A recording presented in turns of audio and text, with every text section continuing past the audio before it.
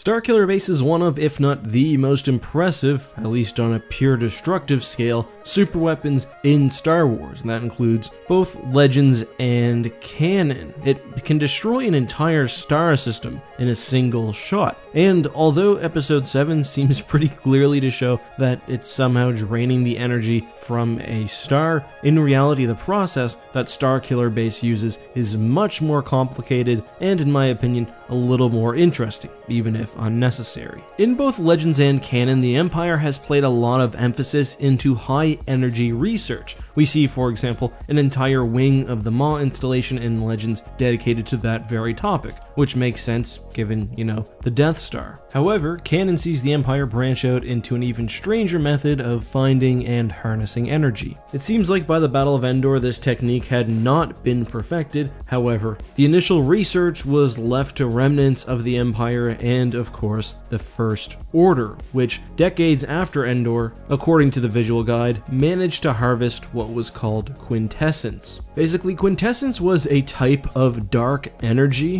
which could be stored extremely compactly, but of course could be launched with devastating effect. The quintessence would be collected in the core of Starkiller Base, would essentially roil around in there for some time, then an opening would be created which would allow it to escape basically the beginning stages of firing the weapon. To my knowledge at least, the First Order is the only faction which has used dark energy in Star Wars Legends and canon. We get a quote saying that, in canon at least, from Ackbar. Impossible. Although we know there is more dark energy in the universe than anything else, and that it exists everywhere around us, it is so diffuse that it can be barely detected, let alone concentrated. This means that the First Order had access not only to a novel type of energy, but also a near infinite one. Before really looking into this, I sort of just assumed that Starkiller Base used Kyber crystals and the power of the star itself, but that's not quite right. As recently as the Visual Dictionary for Episode 9, it says that Starkiller uses the star as a gravitational lens. So I guess dark energy is being pulled from the surrounding area, not the star itself, which I do think contradicts with the intention of the movie, but does help explain away what most people consider Starkiller's biggest weakness. It has to consume a star each time it fires. Now we see it about to fire again in episode 7, so that doesn't really make sense and this does help explain it. It's not really the light of the star being drawn in. The star is sort of focusing the dark energy which comes down and I guess blocks out the light. But I know what you're saying.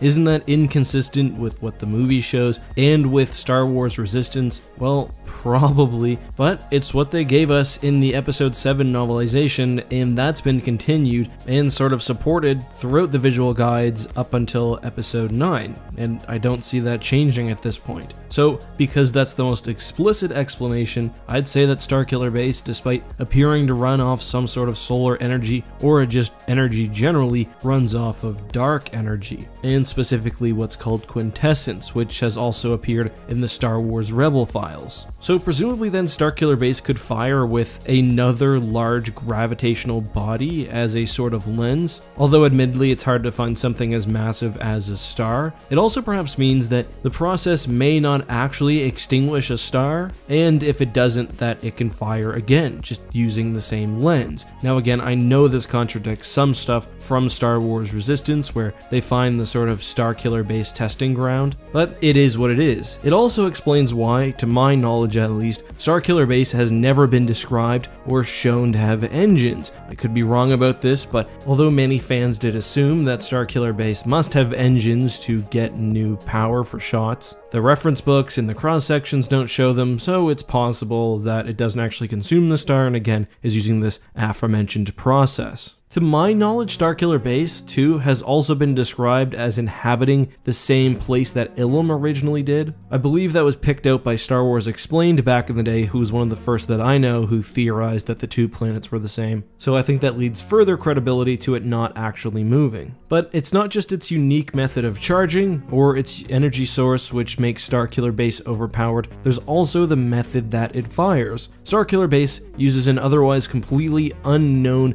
dimension to actually fire the weapon. It's what's known as sub hyperspace. Here's what the episode 7 novelization says. I can't either, but those of us assigned to the base heard rumors that it doesn't operate in what we'd call normal hyperspace. It fires through a hole in the continuum that it makes itself. Everybody was calling it sub-hyperspace. That's how it can arrive in moments across a distance like that between the base and the Hosnian system. So, unlike, say, the Galaxy Gun, which used a projectile through hyperspace, which obviously takes some time, Starkiller Base can attack another side of the galaxy almost immediately, which is fairly impressive, obviously. And this is also why apparently there's this rip in space which allows people to see the disaster as it's happening. And this lore has also been confirmed outside of the novelization. We have the visual dictionary saying the weapon array of the Starkiller punches a hole through hyperspace, sending the torrent of energy to a target light years away. However, there are still some limitations to that. First of all, engineers do use planetary masses and other stellar bodies to help calculate the projectile's route.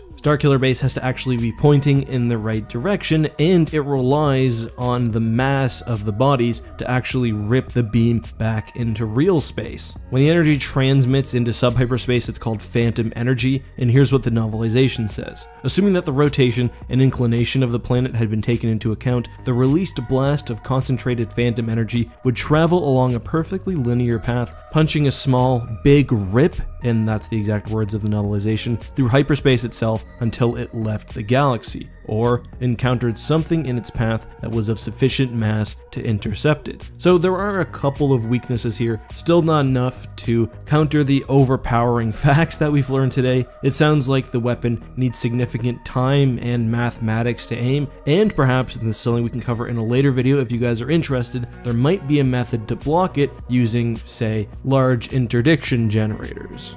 Before I finish this topic, I will note that quintessence is a form of dark energy that hypothetically exists in the real universe, so it's one of those cases where Star Wars kind of takes from science and takes the scientific principles, which is always interesting. At least loosely borrows the science. On another note too, this isn't the only example of Star Wars factions using exotic or strange forms of energy. There were a couple of legend sources, I believe, which talked about generators orbiting black holes, and they would use some of the material that they'd gained from being there to help power things like repulsor lifts. I don't know exactly how that would work, but exotic and esoteric physics and energy I think is pretty cool, and I wouldn't mind seeing more of it in Star Wars, just hopefully next time it jives a lot better with what we see, you know, on screen. But that's all I have for you guys today. Let me know what you thought of this video, if you enjoyed it, and which lore you prefer. The seemingly obvious explanation we get in the movie, or the more complex one we get in the novelization and the other lore. Before we leave, we do have a hashtag AskEck question of the day, and today's comes from Danielle, who asks, how much do Octuptarra droids weigh? Well, Danielle, in polite company, we do not ask droids about their political affiliation, their age, how much money they make, or of course their weight. So obviously I cannot answer that, but maybe Google can. Until next time though guys, have a great one, and as always, may the force be with you.